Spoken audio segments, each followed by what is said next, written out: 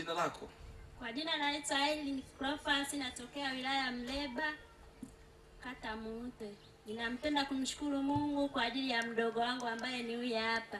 Huyu mdogo wangu amesumbuka kwa miaka saba kuanzia darasa la nne, sasa hivi yuko form 4.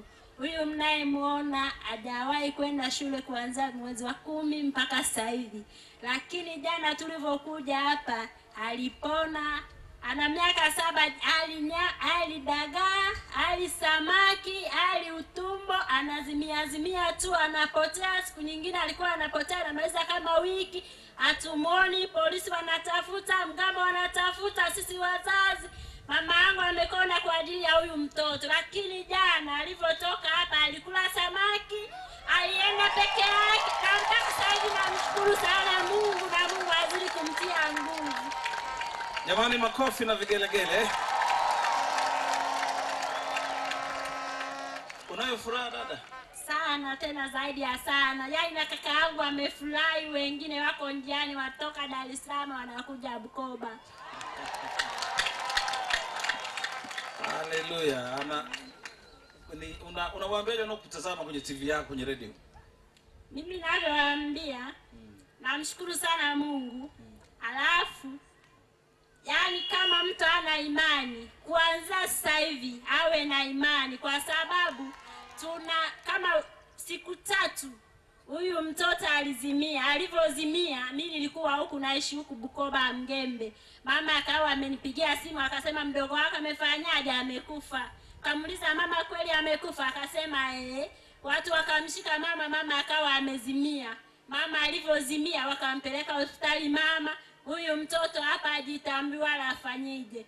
Baadaye wakawa wamempigia simu saa sita za usiku. Wakawa wamempeleka hospitali kagondo. Kuja kufikia saa nane za usiku walikuwa wameshatuhesabia hela ambaye haipungui elfu sitini.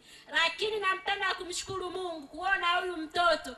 Jana alitembea kutoka nyumbani akaniambia dada yangu nataka kununua dagaa alienda kununua dagaa nikamuuliza unanunua kweli dagaa? Akasema ee nanunua dagaa. Huwa atembeagi peke yake na akienda shule azidi saa sita wamemrudisha nyumbani anafanana maiti. Lakini sasa hivi anatembea peke yake barabarani na anakwenda peke yake na hapa napenda kumshukuru mungu. Yaani mungu mwenyewe atazidhihirisha na yeye mwenyewe mnamuona.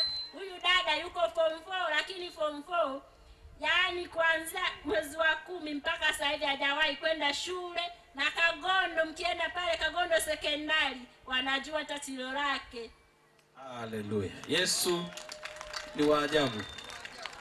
Sema Yesu ni wa ajabu. yesu ni wa ajabu. Ah, ah, ah, ah, ah. Dada, naona unalia machozi ya furaha. Jina lako nani? Ongeza sauti kidogo. Jina lako nani? Chester Clofas. Unayo furaha? Ndio ninayo furaha. Nini kilikuwa kinakusumbua? Majini na mizimu. Majini na mizimu.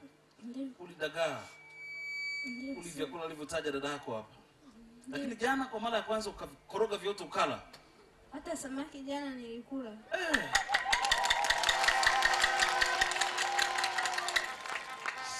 Haleluya.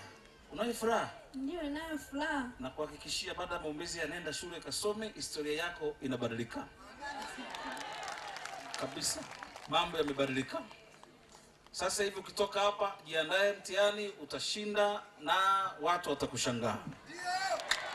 Bwana Yesu, asante kwa uzima ambao umeweka juu ya binti huyu, utawashangaza watu wa Mleba hawa na wengine. Mtoto atakapokwenda Kagondo sekondari kusoma, atashika namba tena. Kazi ya mizimu ishindwe, ishindwe. mapepo yashindwe, uchawi ushindwe. Pokea kutoka kwa Yesu. You are free. Twende.